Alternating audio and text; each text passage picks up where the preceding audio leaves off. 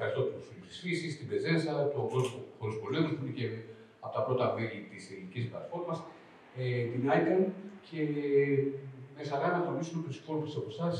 Ήδη βλέπω και κάποιες άλλες οργανώσεις και κάποιους άλλους φίλους από τον ακαδημαϊκό τομέα. Ε, καλό είναι, σκεφτήκαμε, να σας δώσουμε και μια εικόνα, καταρχάς να ξεκινήσω, γιατί ενδεχομένως να μην ξέρετε ποια είναι η δική την ανάπτυξη και ιδίως τα θέματα που συζητάμε από εδώ και πέρα είναι πολύ σημαντικό να αρχίσουμε να μιλάμε περισσότερο. Γιατί το θέμα δεν είναι απλώς να φιλοξενούμε αυτές τις εκδηλώσεις, το οποίο είναι μεγάλη μας χαρά και μας καλωσορίζουν και μέρου τη οργάνωση. Το θέμα είναι να δούμε πώς μπορούμε μέσα από αυτές τις συναντήσεις, βάσει της δράσης των οργανώσεων, να προχωράμε λίγο παραπάνω για τους πολίτες, για την Ελλάδα. Η την ανάπτυξη λοιπόν είναι ένα δευτεροβάθμιο όργανο προσώπησης ε, φορέων της ε, κοινωνίας των πολιτών, που από το 2015 και μετά αυτό το οποίο μας ενώνει και προσπαθούμε να δραστηριοποιηθούμε όλοι μαζί είναι το πώς θα πετύχουμε έναν ουσιαστικό διάλογο μεταξύ πολιτείας, κοινωνίας των πολιτών, οργανώσεων, ακαδημαϊκής κοινότητας και βεβαίως και των επιχειρήσεων, η οικονομία είναι απαραίτητη για μια αποτελεσματική υλοποίηση των στόχων βιώσιμη ανάπτυξης. Τα μέλη μας είναι οργανώσεις κοινωνία των πολιτών. Το επόμενο διάστημα θα προσπαθήσουμε να προσεγγίσουμε και άλλα νέα μέλη για να μπορέσουμε να έχουμε και μεγαλύτερη επίδραση στο έργο της κοινωνίας των πολιτών. Ή μάλλον το αναδείξουμε κατά έναν τρόπο πιο σωστά. Τώρα, ε, όπως σας είπα λοιπόν, εμείς από το 2015 και, και μετά με την πλατφόρμα βιώσιμης ανάπτυξης, εδώ είναι και η Μαριανέλα που είναι αντιπρόεδρος της πλατφόρμας, μαζί έχουμε βοηθήσει τα τελευταία χρόνια και ο Νίκος Ελληνικό Συμβούλιο πολλά, έχουμε αποφασίσει, έχουμε, έχουμε αποδεχτεί ότι αυτή είναι μια φανταστική ευκαιρία. Οι στόχοι βιώσιμης ανάπτυξης πραγματικά θα μπορούσε να πει κανένας ότι είναι ένα οικουμενικό πλαίσιο για την ανθρωπότητα και γι' αυτό πολλές αντιδράσεις μα επικεντρώνουν γύρω από αυτό. Με ποιο τρόπο, με το να συμμετέχουμε στις διαβουλεύσεις, που είναι σημαντικό και γι' αυτό και μάλιστα το, το θέμα της σημερινής συνάντησης, νομίζω ξεκινάει με το τι σημαίνει να είσαι παρόν στις διαβουλεύσεις των ΗΠΑ και καταφέρουμε να το κάνουμε μέσω τη εθνική δουλειάς που κάνουμε μέσω του NGO Major Groups και με τη βοήθεια διεθνών δικτύων της κοινωνίας των πολιτών, όπως το SDG Watch, το Action Sustainable Development, Concord και καθεξής. Τώρα, όλα αυτά για μας είναι αφετηρία για συνεργασίες και συνέργειες. Άρα, έχουμε κάνει μια προσπάθεια τα τελευταία χρόνια να μπορούμε να κινούμαστε μαζί με άλλους φορείς που ενεμπλέκονται, βεβαίως η ελληνική πολιτεία, αλλά όπως προείπα, η ακαδημαϊκή κοινότητα και η επιχειρηματική κοινότητα και δύο από τους εταίρους μας είναι το SDSM και επίσης ο CSR Ελλάδα αλλά και το Global Compact. Και τελικά το πώς θα μπορέσουμε να ενδυναμωθεί η κοινωνία των πολιτών, το ζητούμενο παγκοσμίως αυτό που λέμε όλα τα διεθνή αδίκτυα είναι ότι η κοινωνία των πολιτών δεν έχει τη δυναμική, τη δυναμικότητα, το, το, το capacity πραγματικά να αφιερώσει χρόνο για τα όλα τα σημαντικά που θα ακούσουμε ότι συμβαίνουν σε παγκόσμιο επίπεδο. Ένα καλό παράδειγμα ε, για τη δουλειά που γίνεται από κοινού το τελευταίο διάστημα είναι που έχουμε δημιουργήσει η Συμμαχία των Οργανώσεων Κοινωνικής για τους στόχους. Και πρόσφατα παραδώσαμε και το πρώτο, αν θέλετε, πραγματικό, δηλαδή concrete παραδοτέο αυτής της συνεργασίας, που είναι η αξιολόγηση της υλοποίησης των στόχων βιώσιμης στην Ελλάδα από την κοινωνία των πολιτών, το οποίο θα μπορείτε όλοι να κατεβάσετε στο ιστοτελειακό Και θα απευθύνουμε σύντομα κάλεσμα οι φίλοι της φύσης μας προλεγάτε για το πώς θα κάνουμε διαδικασία και για το 2023. Πάμε να δούμε λοιπόν αυτή την ατζέντα 2030 και πώς συνδέεται με του στόχου τη βιώσιμη ανάπτυξη. Εδώ λοιπόν επιτρέψτε μου ε, να κάνω όμως ένα βήμα πίσω για να εξηγήσουμε λίγο το πλαίσιο. Δηλαδή, αυτή τη στιγμή αυτή η ατζέντα και αυτοί οι 17 στόχοι με τις 169 επιδιώξεις ή υποστόχους και 264 δείκτε για 8 δισεκατομμύρια ανθρώπους. Εδώ άφησα το νούμερο από την προηγούμενη μας παρουσίασή μας και όταν βγήκε η ατζέντα ήταν στα 700. Και χθες το βράδυ είδατε ότι είμαστε στα 8 δις και προχωράμε. Έχει ένα πολύ ωραίο live και όλα αυτά το ελπιδοφόρο φιλόδοξο μήνυμα τους να τα πετύχουμε το 2030. Ποια είναι αυτά, είναι τρεις βασικοί στόχοι και το όραμα. Το πώς θα, θα λείψουμε την ακραία φτώχεια. Θεωρούμε ότι δεν υπάρχει λόγος με τις δυνατότητες που υπάρχουν. Πρέπει να υπάρχει ακραία φτώχεια στην ανθρωπότητα. Πώς θα καταπολεμήσουμε τις ανισότητες όπως αυτές ε, παρουσιάζονται σε διαφορετικές κοινωνίες και τελικά το πώς θα αντιμετωπίσουμε, γιατί να κάνουμε κάτι άλλο, την κλιματική αλλαγή. Τι λέει η Ατζέντα 2030 για τα πυρηνικά όπλα; Τίποτα. Εντάξει, δηλαδή αν πάρεις το κείμενο όλο, δεν υπάρχει ούτε μία αναφορά. Εντάξει, την έχουμε εδώ κάπου στα ελληνικά με την πλατφόρμα, ε, αλλά πραγματικά δεν κάνει καμία αναφορά. Πάμε να δούμε όμως τώρα, γιατί εδώ μιλάμε για το πώς γίνεται σε παγκόσμιο επίπεδο το θέμα της διπλωματίας. Προφανώς η ατζέντα έχει μια διαφορετική προσέγγιση η οποία αφορά το ότι δεν μπορείς να πετύχεις τους στόχους εάν δεν γίνονται κάποια βήματα. Άρα, ο στόχος 16, που είναι η ειρήνη, η δικαιοσύνη και οι ισχυροί θεσμοί, προφανώς δεν μπορεί να επιτευχθεί όχι μόνο με την ύπαρξη πυρηνικών όπλων, αλλά γενικότερα με την ύπαρξη βίας. Και γι' αυτό λοιπόν ο υποστόχος 16.1 είναι σαφής ότι θέλει να δει μέχρι το 2030 σημαντική μείωση της βίας σε κάθε επίπεδο. Και εδώ αναφέρει βεβαίως και το επίπεδο των διενέξεων, άρα των πολεμικών σειράξεων, και το συγκεκριμενοποιεί με τον δίκτυο 16.1.2 ότι πρέπει αυτές οι θάνατοι που σχετίζονται με τις ε, διαδέξεις σειράξεις να μειωθούν σημαντικά και να τις μετρήσουμε μέχρι το 2030 και υπεύθυνος καστόνι, αν θέλετε, για να μπορέσουμε να δούμε ότι όντως αυτό υλοποιείται και τι βήματα πρέπει να πάρθουν, είναι η ύπατη αρμοστία για τα ανθρώπινα δικαιώματα. Τι άλλο όμως έχουμε δει, και αυτά είναι τα στοιχεία που έχουμε πάρει και από τον Άικελ ότι η ύπαρξη των πυρηνικών όπλων ή ο κίνδυνος να υπάρχει και έστω και ένα επεισόδιο που να σχετίζεται με πυρηνικό όπλο έχει προφανώς άμεση επίπτωση σχεδόν σε όλους τους στόχου. Ενδεικτικά θέλω να σας αναφέρω κάποια στοιχεία. Παραδείγματο χάρη στο στόχο νούμερο 2, νούμερο 2 που είναι και γενικότερα βιώσιμα βολιοτροφικά συστήματα, εδώ τι προβλέψεις υπάρχουν, είναι ότι έστω και ένα περιορισμένο επεισόδιο, ένα incident αυτό σημαίνει ότι θα επηρέαζε 2 δισεκατομμύρια ανθρώπους όσον αφορά θέματα ξηρασίας, θέματα μόλυνσης και ότι δεν θα υπάρχει πρόσβαση στα βασικά τρόφιμα για να μπορέσει να συνεχίσει η ανθρωπότητα. Αντίστοιχα μιλάμε για το νούμερο 3 που είναι η καλή υγεία και ευημερία και εδώ πέρα τα στοιχεία λένε ότι πάλι κάπου στον κόσμο μια μικρή τέτοιου είδου διέλεξη θα είχε όχι μόνο τους θανάτους που επηρεάζονται απευθείας από το επεισόδιο, αλλά εδώ μιλάμε για χολέρα, έμπολα, τύφο ε, και ένα σωρό άλλα ζητήματα, τα οποία για δεκαετίες θα πείτανε το πλανήτη.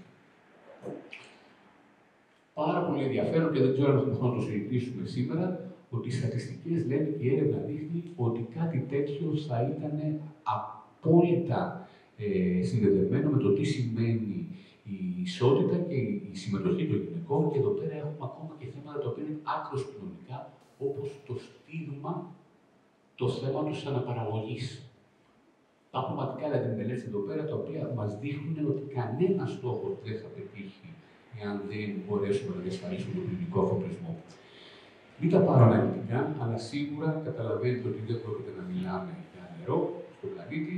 Εδώ υπάρχει και μια πρόβλεψη όχι μόνο του πόσο θα επηρεαστούν τα αποθέματα νερού που έχουμε, τα οποία θα μολυνθούν, αλλά μιλάμε ότι πάλι ένα μικρό επεισόδιο μπορεί να προεπηρεάσει την ατμόσφαιρα με τέτοιο τρόπο και το, ε, το, το όζο λέει, το οποίο ε, Αφρική και Ασία δεν θα δουν βροχή για μια δεκαετία. Okay.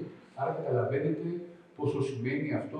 Καταρχάς, εδώ τα λέμε ότι να έχει μια χώρα πυρηνικά όπλα και άλλη μία να μην έχει. Καταλαβαίνετε ότι εξορισμού μιλάμε για ανισότητα γενικότερα για το τι σημαίνει στο κομμάτι της ασφάλειας. Δυστυχώς, στον πόλεμο και στις σειράξεις και ιστορικά, όταν είχαμε χρήση πυρηνικών όπλων, πάντοτε στοχεύουν σε κατοικημένες περιοχές και πόλεις. Και φανταστείτε αυτή τη στιγμή, δυστυχώς είχαμε την εμπειρία της Τουρκίας πρόσφατα, τι θα σήμαινε λοιπόν μια πόλη να έχει έστω και ένα ατύχημα, ούτε καν πραγματική επίθεση. Και βεβαίως δεν μιλάω για στόχο για, τη, για, για, το περιβάλλον, τι σημαίνει αυτό για την παραγωγή, το, την βιοποικιλότητα, για το θέμα του, του στόχου 15 που έχει να αφορά τη ζωή στη, στη, στη γη, μιλάνε για μία μείωση της παραγωγής πάνω από 30%. Ε, και προφανώς νομίζω ότι το να είναι από του στόχου και να δούμε ακριβώς πώς σχετίζονται, αλλά πραγματικά η παραδοχή είναι ότι δεν μπορείς να μιλάς για καμία ευημερία και καμία βιώσιμη ανάπτυξη όταν υπάρχουν πυρηνικά όπλα. Τώρα, τι άλλο συμβαίνει βεβαίως; Και υπάρχει εδώ ενδεχομένω αυτό που θα λέγαμε οικονομικά το opportunity cost. Για να πετύχουμε τους στόχους βιώσιμης ανάπτυξης, χρειάζονται επενδύσεις. Και εδώ, παρότι υπάρχουν και τα φαινόμενα του περιβόητου greenwashing, έχουμε δει τον επιχειρηματικό κόσμο να έχει πάρει αρκετά ζεστά το θέμα των επενδύσεων, γιατί εδώ που τα λέμε, ασφαλίζει και τη δικιά τους τη βιωσιμότητα, ακόμα και σε οικονομικό επίπεδο. Αυτό όμως το οποίο βλέπουμε αυτή τη στιγμή είναι τα άνισα μεγέθη. Δηλαδή, αυτή τη στιγμή δεν μιλάμε για επενδύσεις για να πετύχουμε τους SDGs, αλλά θα σας πω ένα παράδειγμα. Ο οργανισμός, ο Παγκόσμιος Οργανισμός Υγείας έχει δηλώσει ότι χρειάζομαι γύρω στα 370 billion μέχρι το 2030 για να πετύχω τους στόχους που σχετίζονται με τα SDGs. 340 billion είναι μόνο το κόστος που θα αναγκαστεί οι Ηνωμένες που αναγκαστούν οι Ηνωμένες Πολιτείες να δαπανίσουν την επόμενη δεκαετία μόνο για να συντηρήσουν τα πυρηνικά τους σώματα. Okay. Μόνο και μόνο δηλαδή να φροντίζουμε ότι ανοίγει πόρτα το πρωί για να μπαίνουν μέσα σε στρατό Okay. Κατα, καταλαβαίνετε τα νούμερα. Την ίδια στιγμή έχουμε αυτή τη στιγμή τα νούμερα τα οποία λένε ότι περισσότερο από μισό τρίλιον τρισεκατομμύριο επενδύεται από τις, ε, τις financial markets που λέμε, τις διεθνείς χρηματαγορές, σε ε, δημόσιας ιδιοκτησίας διαχείριση πυρηνικών όπλων και βεβαίως καταλαβαίνετε τι θα σήμαινε αν απλώς μειώναμε αυτά τα ποσά, το πόσο απαραίτητα θα ήταν για να πετύχουμε τους στόχους και όχι μόνο οικονομικά, αλλά και επιστημονικά και ακόμα και πολιτικά, γιατί, γιατί αλλιώς δεν θα μπορούσαμε να του πετύχουμε. Τώρα, πάμε να δούμε λίγο το, τα θετικά βήματα, αν θέλετε. Γιατί ναι, δεν έχουμε τους στόχους βιώσιμης ανάπτυξης που είναι ένα πλαίσιο. Και τα τελευταία 7 χρόνια, γιατί είμαστε ακριβώ στη μέση της υλοποίησης φέτος, είτε μια προσπάθεια να καταγραφούν τα βήματα και να έχουν επιμέρους συμφωνίες που θα συμβάλλουν στην υλοποίηση, αλλά και τα στοιχεία που θα μπορούμε να αξιοποιούμε για να τους μετράμε.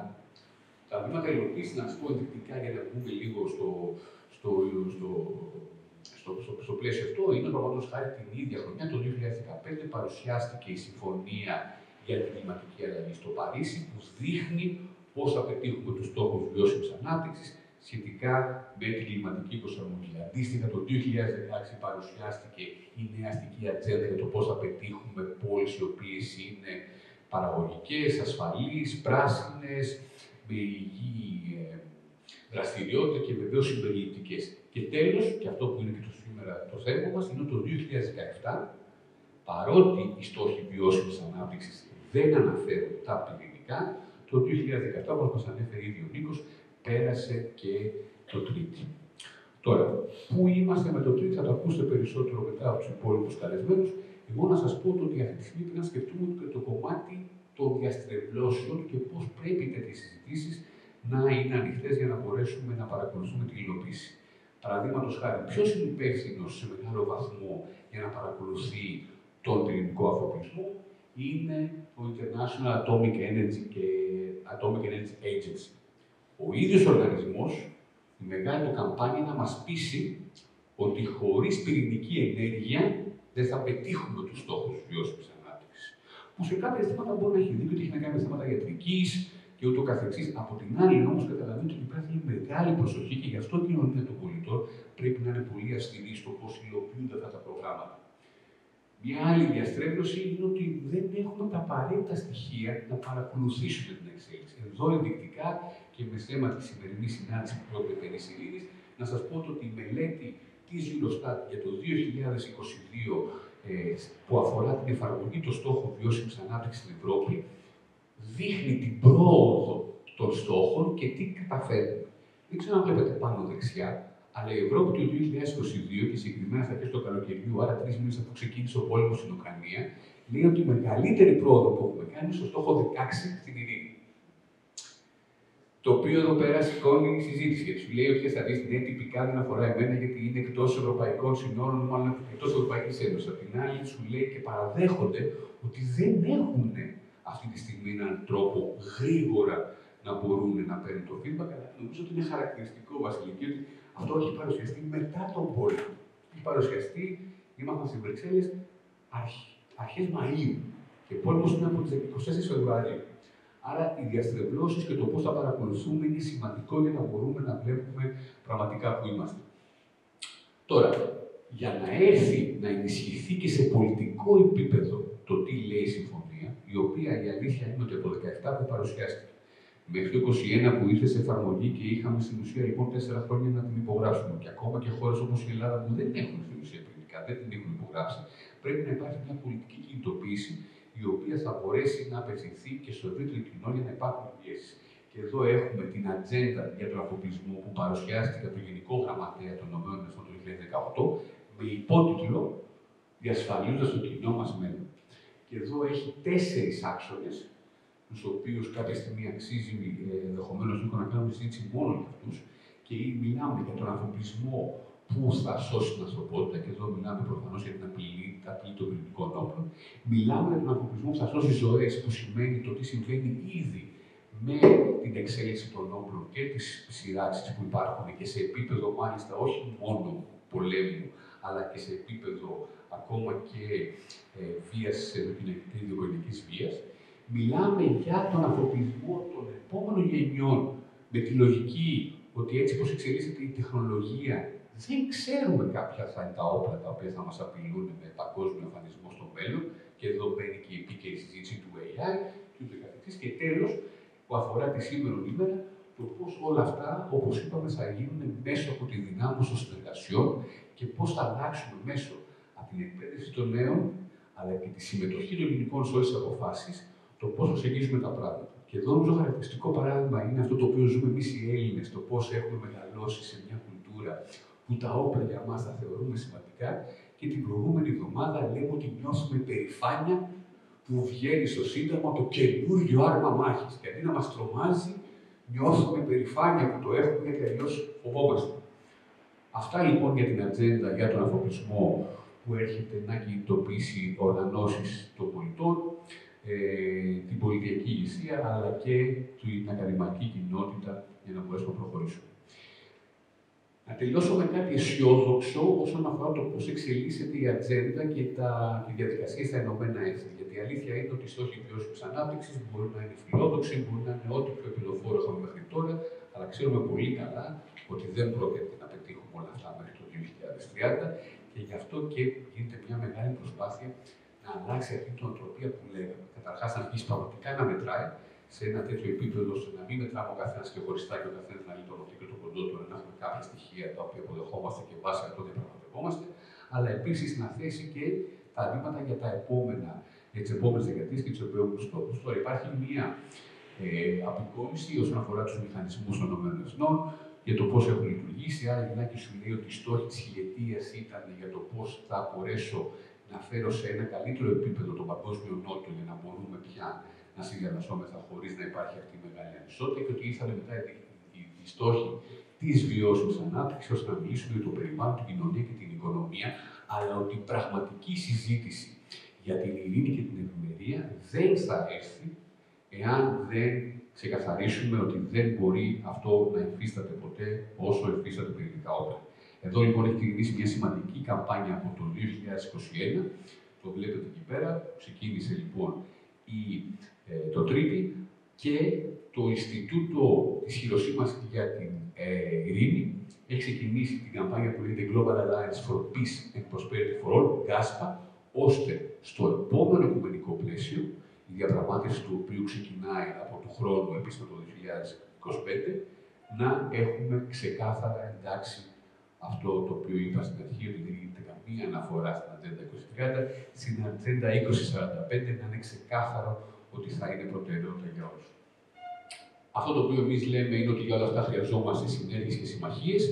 Εδώ, σαν κόσμο πολέμου και βία και σαν πλατφόρμα και οι υπόλοιπε οργανώσει έχουν ξεκινήσει αυτό το οποίο ονομάζουμε μια συμμαχία για τους στόχους βιώσιμης ανάπτυξης, την ελληνική συμμαχία ιδανικά. Άρα ελπιστούμε και να έχουμε κάτι και άλλες τέτοιε συναντήσει όπω σημερινή, αλλά να δούμε και τι άλλο μπορούμε να κάνουμε ε, και πώς μπορούμε να βοηθήσουμε την ελληνική κοινωνία να είναι πιο ενεργή. Σας ευχαριστώ πάρα πολύ και εγώ. Καλώς ορίσατε και από μένα και παραδείγματο.